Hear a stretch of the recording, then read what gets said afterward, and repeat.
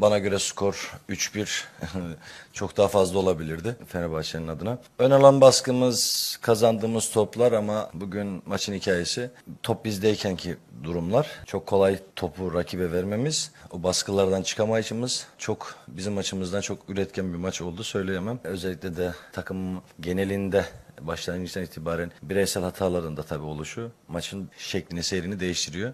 Bence bizim açımızdan gayet olumluydu. 3 puan kaybettik ama e, kazanımlarımız oldu diye düşünüyorum. Özellikle geldikten e, bu yana hemen hemen 2 ay, 2 aylık bir kısa bir süre. E, takım olma adına bazen mağlup olabilirsiniz ama takım olma için bazı mücadelelere ihtiyacınız var. Bu bir şanstı. Bugün en azından bir puan hak etmiştik.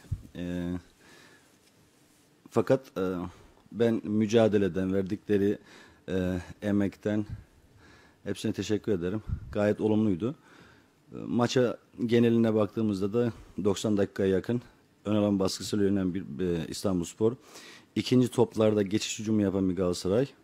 E, tabii ki doğal olarak yetenekli oyuncuları e, pozisyona girmelerinde kolaylık sağlıyor.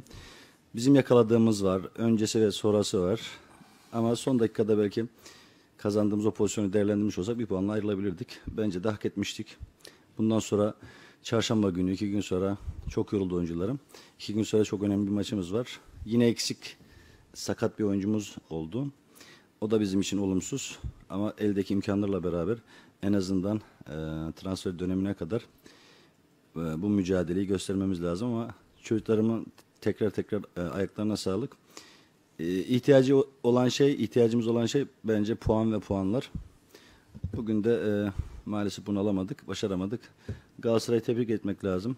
E, onlar da son uzun zamandır herhalde lider olmamışlardı.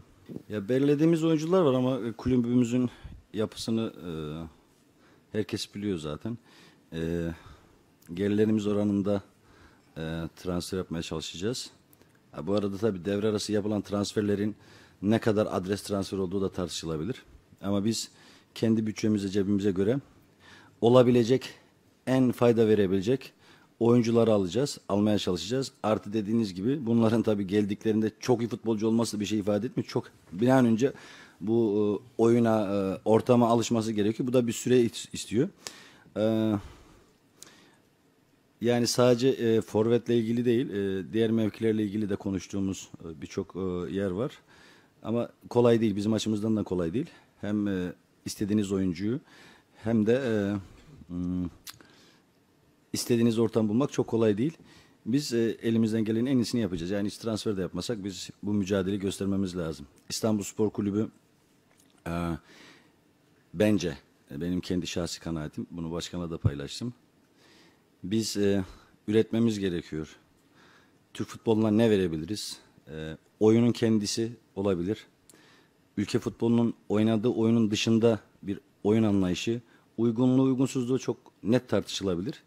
Yani futbolcu uygunluğu, uygunsuzluğu tartışılabilir ama en azından sahaya bakış açısından e, bence değerlendirilmesi gereken bir e, şey bu. Biz oyun kimliği oluşturmak istiyoruz. Bunu bulabilirsek iyi oyuncularla, bulamazsak elimizdekilerle denemeye devam edeceğiz.